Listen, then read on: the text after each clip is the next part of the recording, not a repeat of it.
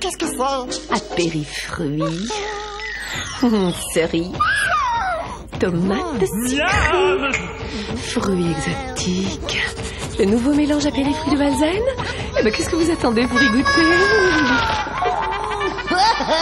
Alzen, je dis j'aime.